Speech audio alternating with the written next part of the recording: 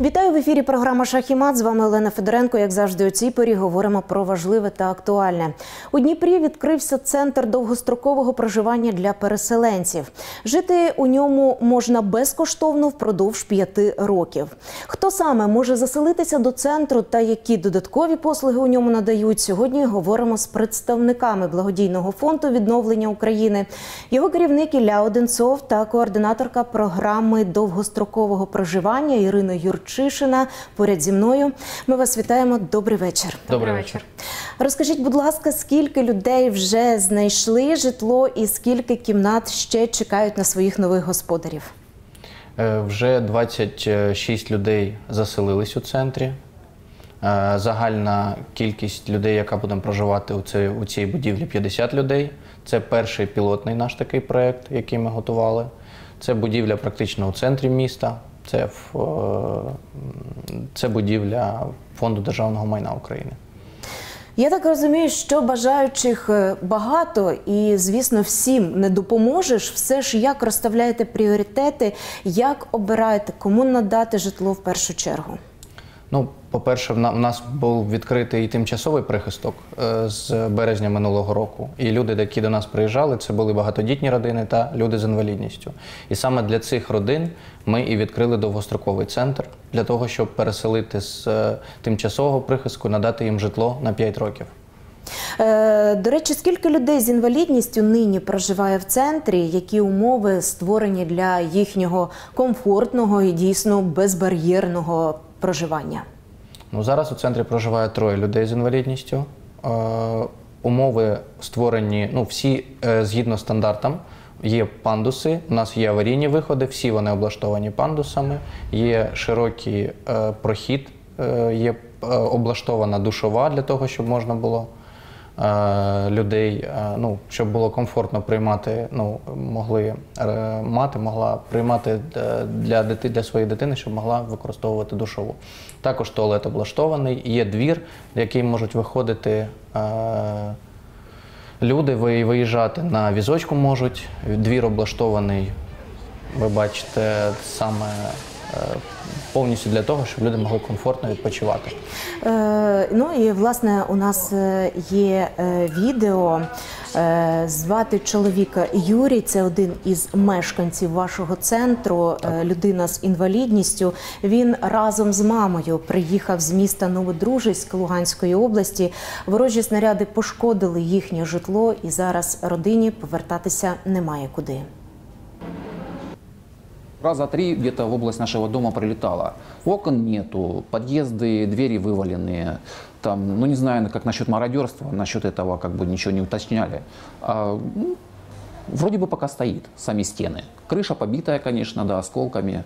Окна вылетели. Ну, я думаю, это все восстановится. С начала этих боевых действий э, находились в подвале там. Ну, у нас дом двухэтажный, э, на 16 квартир маленький. Как только начали бомбить, сразу в подвал спустились. Просидели там мы, ну, около двух месяцев, наверное. Тяжело. Но потом уже, когда во двор прилетело, уже сказали, что надо выезжать. И тогда мы, волонтеры, нас вывезли э, сперва до Славянска, а потом со Славянска сюда, в Днепр. И здесь, в Днепре, встретились э, с Ильей, с Максимом.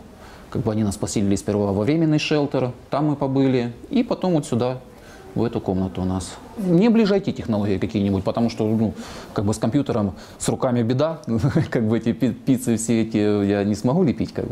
А в компьютере, да, пожалуйста, М, мне с удовольствием бы. Тож у Юрія є мрія, точніше, ціль. Ми почули освоїти it спеціальність. Чи зможете йому у цьому допомогти йому та іншим мешканцям, які налаштовані навчатися, які хочуть знайти роботу у майбутньому? Так, і вже, вже це робимо.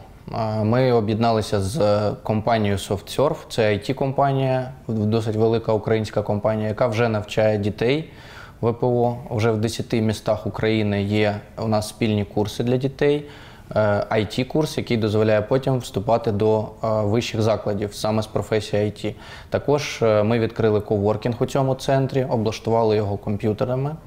І там є можливість навчатися як для дітей, так і для дорослих. Е, Програми ми зараз будемо е, долучати ще. Ну, у нас є програма зараз IT, будуть ще програми різні, або там малювання, е, ну також у сфері IT, але маркетинг, або там якісь фріланс професії. Ну, ми знаємо з вами, які зараз ну, досить популярні. І саме Юрій хоче навчатися і буде у цьому коворкінгу і навчатися. Тому- Ви сказали, що у центрі проживають багатодітні сім'ї. Так скільки на сьогодні таких сімей вже заселили до кімнат, і скільки дітей проживають у вашому центрі? Зараз у центрі е, десь 5 е, багатодітних сімей. Ми очікуємо ще одну багатодітну сім'ю з 10 дітьми з Херсонської області, і ще одна сім'я з Херсону безпосередньо. Е, також будемо з ними скоро знайомитися. Е, там у них 5 дітей, е, тому в нас кількість дітей розшириться вже скоро дуже, е, бо ми їх дуже чекаємо. Ем, зараз ем, у нас наймолодша дитина це Мар'яна, їй 5 років. Е, У неї обидва е, обоє з батьків з батьків вони з інвалідністю. Е, В неї є ну, в, родині ще є одна дитина. Вони приїхали з приїхали з Курахова, це Донецька область. І зараз проходять реабілітацію, психологічну підтримку отримують, бо вони заселилися до нас десь е, два місяці тому, і е, дитина дуже сильно боялася через те, що Крахова було під обстрілами. Е, Вони довго просиділи у підвалах. Е, Відповідно, е, це була дуже велика проблема стабілізувати дитину е, на момент е, приїзду у- Дніпро сім'ї. Е, Ви ну, говорите, родина е, 10 дітей. Це ж яка має бути кімната, щоб всіх туди помістити? От саме для цього у нас е, перший поверх у нас облаштований виключно був для людей з інвалідністю. Другий поверх ми якраз облаштовували для багатодітних родин. Е, Ну, це ми не кажемо, що це квартири. Це перший пілотний проект. і Це буде як гуртожиток з е, спільною є спільна кухня, спільні туалетні кімнати, але їх там декілька є. Вони розраховані на кількість людей. Ну, все по стандартам, все згідно нормам. Але е, кімната буде облаштована, розділена для цих дітей. У нас є там така е, досить велика кімната, і окрема кімната буде для їх е, мами, яка буде там з ними жити. Якщо вже заговорили про дітей, чи ходять вони до школи, чи допомагали ви їм влаштуватися? Бо зрозуміло, що люди змінили місце проживання, тому і школу діти мають змінити. І чи є умови в центрі для навчання онлайн? Так, є, звісно, діти навчаються. По-перше, ми е, за цей рік, е, окрім нашого центру, дуже багато центрів забезпечили у Дніпрі е, планшетами або ноутбуками е, для того, щоб діти могли навчатися як у нашій області, у Дніпропетровській, так і в Херсонській області. Наш центр облаштований е, як комп'ютерами, так у нас є і планшети для навчання дітей. Е, ну, Окрім того, що діти навчаються е, В школі в, он- да, очно. очно і є основна програма, є дуже багато для них і е, розважальних та навчальних програм, які з нашими партнерами ми реалізуємо, підтримуючи дітей. Ментальне здоров'я населення зараз цьому питанню особливу увагу приділяють на державному рівні. Як дбаєте е, про ментальне здоров'я ваших мешканців? Адже ми розуміємо, що багатодітні сім'ї, люди з інвалідністю це е, категорії населення, які потребують особливої підтримки та уваги. Так, дійсно, так і є. І ми познайомилися з програмою Ти як.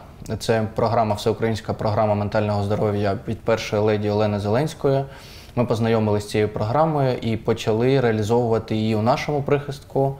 Е, Це програма, яка дозволяє людині е, самотужки вивчити така аптечка, психологічна аптечка, яка дозволяє як людині поводитись у стресових ситуаціях з собою, як е, поводитись зі своєю дитиною.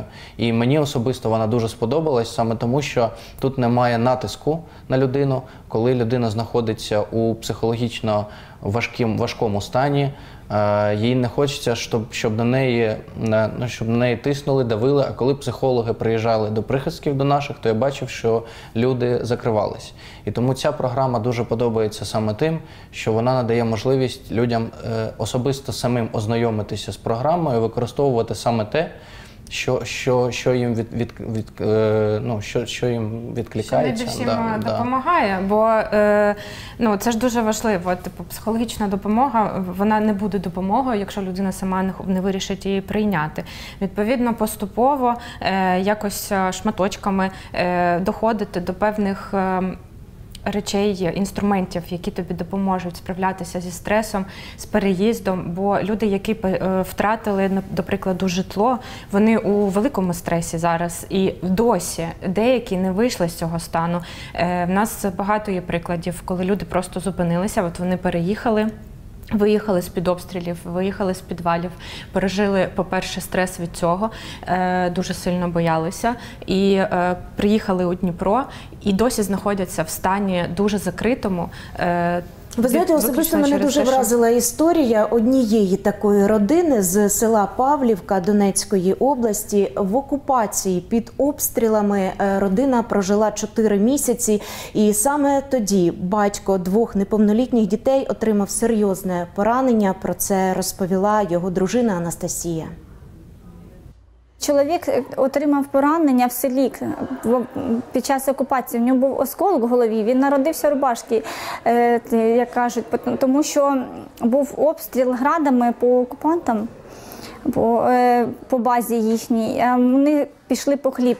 У нас був е, чоловік, який привозив е, хліб, там, цукерки. Вони пішли по хліб, і, і його поранило в голову поранення осколок з града прилетів, і він навіть не підозрював рана, та й рана промивали собачими мазями зоотехнії, нашої е, медпомощі ніякої не було. Ні, вони нічого не привозили зовсім, ні, ніякої їжі, нічого. Ми, коли залишали наше село, воно ще стояло. А ось уже як вугледар, якого немає, його стерли з лиця землі, так і наша Павлівка, там нічого немає. Зі слів Анастасії, їм просто немає куди повертатися. До речі, яка ситуація зараз з відновленням державою житла? Чи допомагаєте ви людям оформити відповідні е, заявки, зібрати відповідні документи? І ви сказали, що люди можуть проживати в центрі довгострокового проживання 5 років. А що далі? Так, е, наша програма полягає саме у тому, щоб е, ми взяли будівлю в оренду у фонду державного майна, спільно з міжнародними партнерами її відновили і надаємо житло на 5 років як е, момент стабілізації для багатодітних родин і як час для людей з інвалідністю, які зможуть отримати за ці 5 років компенсацію від держави. Бо ми розуміємо, що після завершення війни держава зможе е, Компенсувати не відразу всім, так? Да, не відразу всім, і це займе деякий час. Саме тому ми розуміємо, що е, цього часу е, буде достатньо для того, щоб або е, людина могла отримати ордер, наприклад, у цьому ж гуртожитку, який ми відновили, бо це державна власність, або квартиру, або е, ще якась програма, яка буде саме для відшкодування людині втраченого житла. Хотіла, до речі, уточнити, чому зараз у Дніпрі та області закривають саме шелтери короткострокового перебування. Можу вам е, відповісти на це питання. Е, У нас е, вийшла постанова Кабінету міністрів, де прописані всі вимоги до місць тимчасового перебування ВПО. На жаль, багато з прихистків не відповідають цим вимогам. Це перша причина. Друга причина багато з прихистків просто фінансово не витягують забезпечення своїх прихистків. І відповідно вони не можуть просто е, обслуговувати це приміщення. Е, то е, треба, ну і, і взагалі тимчасові прихистки, вони зараз. Е, Скажімо так, це старий формат, який вже не ефективний. Він був ефективний на е, спочатку повномасштабного вторгнення, коли масово їхали люди, коли треба було просто кудись селити, бо не було взагалі в Дніпрі місць. Е, Але зараз це вже має бути більш стабільна історія, е, більш довготривала історія для того, щоб люди розуміли, що в них є е, певний час, якийсь е, чіткий час, е, щоб не було е, питань в тому, що е, можуть е, просто прийти і сказати: вибачте, в нас закінчилось фінансування, е, нас більше не фінансує там міжнародна організація або не приходять донати. Ми не можемо е, забезпечувати це приміщення, то треба виїжджати. А яка гарантія того, що люди зможуть прожити 5 років, як ви їм обіцяєте зараз Ну, от саме тому, коли ми відкрили свої перші тимчасові прихистки, це просто були будівлі, які е, приватні підприємці надали нам на користування на деякий час. І ми розуміли, що потрібно розробити програму, яка буде дійсно гарантована. То єдина, ну на наш погляд, єдиною гарантією є державне майно. Якщо ми у нас є договір трьохсторонній, це фонд державного майна та балансоотримувач це університет. Є гарантовано підписаний договір. Гарантовано підписаний він е, на 5 років. І ми розуміємо, що це гарантія. Ми сплачуємо самі оренду. Ми зараз за кошти міжнародних донорів сплачуємо оренду цього приміщення. Але це дійсно 100% гарантія, що ніхто не прийде і не забере цю будівлю у людей. Ви сплачуєте оренду, комунальні послуги люди платять самі. Да, ми вважаємо, що е, люди мають можливість сплачувати комунальні послуги за себе як у своєму власному житлі. Бо ми і створили ці умови, як, як це власне житло людей на 5 років. Ми розуміємо, що найголовніше це мати місце, де ти гарантовано зможеш жити. І для е, мами, наприклад, яка хоче працевлаштуватись або е, хоче освоїти нову професію, для неї важливо розуміти, що для її дітей є місце, де гарантовано, ну ми вважаємо 5 років, вони, вони зможуть За цей час можна жити. адаптуватися, соціалізуватися, пройти якісь навчання і навіть знайти навіть роботу. знайти роботу, Знайти і навіть роботу, і навіть відкрити власну справу можна спробувати. Пройти курси. Є багато мікрогрантів. Ми також е, створюємо е, ну, потрохи створюємо програми мікрогрантів для того, щоб надавати е, можливість спробувати себе людині, яка вже в новому місті зараз у Дніпрі.